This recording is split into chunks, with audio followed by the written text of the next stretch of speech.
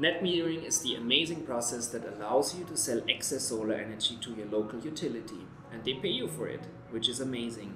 Actually, we are very happy to have this here in the Philippines. We cannot take this for granted because many other Asian countries do not have that.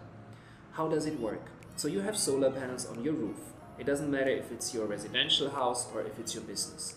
Whenever you have solar energy during the day but you don't use that, means in the residential house you're having lunch or in the business um, you are having also lunch and the people are out, you have excess solar energy and it would be actually a waste, right, to, to just let it go into nothing. So net metering allows you to sell that excess solar energy automatically to the utility. That works with your meter. That's the only thing that needs to be changed. So we, in partnership with the local utility, change your electric meter that is usually located outside of your building. Now your current meter is, I would even say a bit stupid. It can only turn into one direction and counts what you use from the main utility and what you consume.